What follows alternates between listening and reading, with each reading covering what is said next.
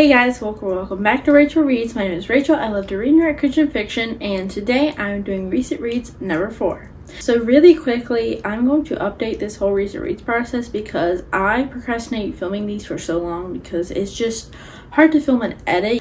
I'm gonna do like 10 to 15 books each recent reads until I can catch up. Um, and once I catch up, I'll just do like 10 to 15 from there on out. So yeah, the first book is To Spark a Match by Jen Turano. I marked this as a 5 on Goodreads and didn't change it. Now I would probably say that it's a 4.5. I don't think about it a lot, but between book 1 and book 2, I can't decide which one's my favorite because they're both really, really good. I just kind of loved our main character, and I definitely would say maybe book two is better. This is Christian historical romance, and we are following Ad- Adelaide Duveen. She is part of this like bookshop, but there's a mystery going on, which gets her involved with the main character who is Gideon, and I'm pretty sure he's some sort of undercover agent. He is because that book is honestly really funny and just really good. Um, in my Goodreads review, I did mention that it would be titled as My Dear Miss Duveen because I feel like so many people called her that and it would have been a great title. But To Spark and Match does go along with the Matchmaker series um, and I enjoyed it and I do recommend it. The next books I read are the first four books in a series. I don't know how long the series is going to be because it's still being written. Um, but these are the first four books. The first book is The Lady of Lunaria, which is by Michaela Bush. I gave this book five stars. It is a Rapunzel retelling. It has a lot to do with like herbs. Our male main character is a guard, not a thief. Um, and they end up meeting and just a lot of great stuff happens. It was a very sweet story. I think this is Christian non-magical fantasy. So if you're looking for a clean Rapunzel retelling and you want to be Christian, I would really recommend this one. Now, as a content warning for the series as a whole, this series does deal with um, spiritual gifts such as um, prophesying or healing versus evil things. Um, so there is some mentions of magic or witchcraft, but it is heavily looked down upon and considered evil. So I do want to put that out there. The second book, The Healer of the Brigade, like I mentioned, does deal with spiritual healings. I gave this book four stars. I loved our main character. She was really kind of tough at first, but then she started opening up, and I really enjoyed seeing that and seeing her development. Book three is The Highlander's Victory. If you want an Irish book that is clean and Christian, I highly recommend this one. This does take a lot of Irish inspiration, um, and I just found it to be a really amazing story. There is even some like Irish legends. Book four is The Kingdom's True Queen, and I this one definitely needs a lot of trigger warnings because it deals with human trafficking and different things that go along with that. This follows the Queen's servant. Um, and she has something that the queen really wants and there's just a lot of connections one of the characters we meet in the Highlanders Victory is actually the male main character of the Kingdom's True Queen, and I really love this story. I think if you enjoyed Victoria Lynn's This Life of Mine, you would definitely love it. Um, and again, it is mostly clean. There's no content I would maybe warn off of, but do know that it does deal a lot with human trafficking. So I do want to make a really quick note about The Kingdom's True Queen. Technically speaking, I read this book about a month ago because I had Kindle Unlimited. I read the first three books back in May or June. I just want to put that out there because I read that book later, but I wanted to talk about the series as a whole. The next book was one I read on a vacation because it was at the house we were staying at, and that is Coffee Shop Christmas by Rihanna Miller. I gave this book five stars. It is just a sweet Christmas book. There is a very short, but again, very sweet, just simple, a lot of good like Christmas ideas. It has that snowed in aspect, and they're snowed in at a coffee shop, and the gospel is presented. It's just a really beautiful book, and if you're looking for a Christian Christmas book, I highly recommend this one. Next four books are also part of a completed series. That is the Cape Refuge series by Terri Blackstock. Book one is Cape Refuge. I gave this one four stars. I really enjoyed the mystery of this one. I definitely found our main character Morgan extremely interesting. The mystery is definitely heartbreaking because of how close it is to our characters. But again, a lot of stuff goes on and it was very, very good. If you're looking for just a basic Christian suspense, I highly recommend Terri Blackstock. This series is pretty good. Book two, I gave 3.5 stars, and that is Southern Storm.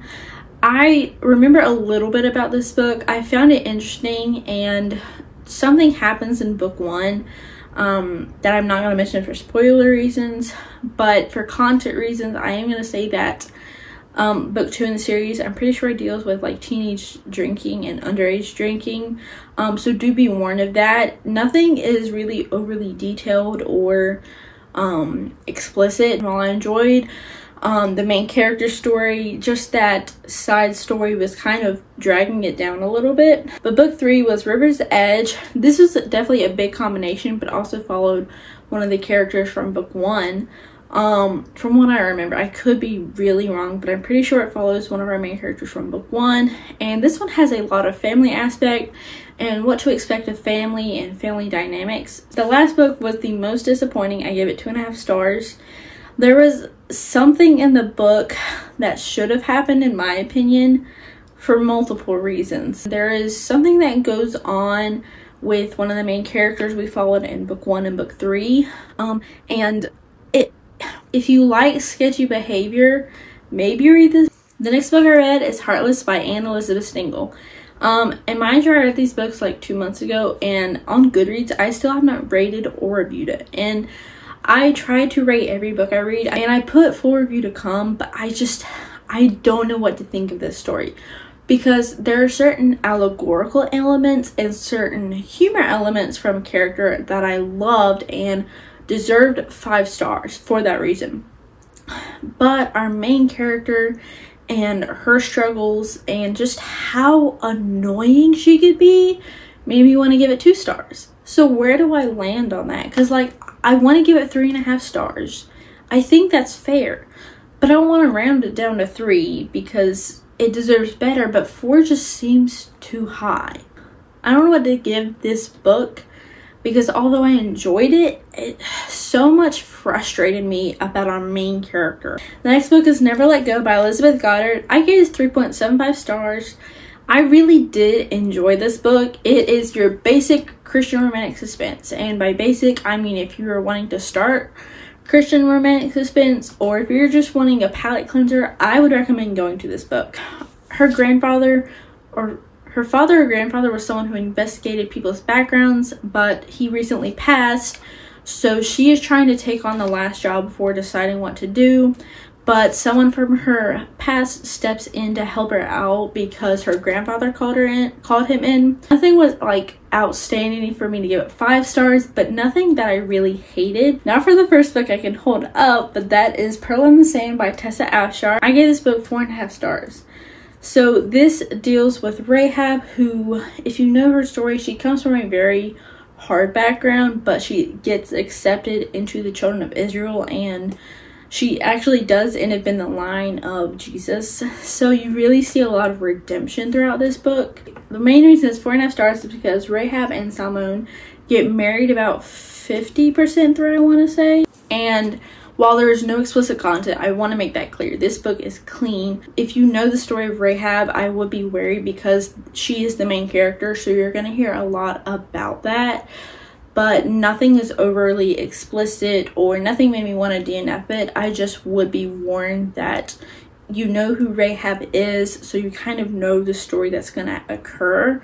Um, but we just see a lot of her emotions struggling with being married and her past. But again, this is a story of redemption and how God loves us so much, even though we have lived such sinful lives. And I really love that message. And the last book for today is Ignite by Kara Swanson. Um, I received this as an e-arc um, and I gave it 4.25 stars. The book is out. So if you're interested in reading a clean Phoenix fantasy, I highly recommend this. I was just looking for something that was bigger that was going to happen early on. But, but with this story, everything is kind of like a build up kind of like a snowball effect. So like we start off really just small, but the further you go, the bigger it gets. Um, and again, I just, I didn't know what to expect exactly with this book because it does do a lot with family healing and understanding what that is. Eli is just a great character. He is amazing. And the ending was beautiful, but like stressful. Now for what I'm currently reading. That is A Lady's Guide to Marvels and Misadventure by Angela Bell. Disclaimer, if I ever say Lady's Guide to Marvels and Misfortune, forgive me. I really want to call this book that, but it's misadventure. This book is amazing. So on Goodreads, on one of my updates, I compared it to a Jen Turano meets Joanna Davidson Politano, but make it whimsical. This was in my library book called Predictions. I predicted this to be a five star, and it is on its way to becoming a five star book.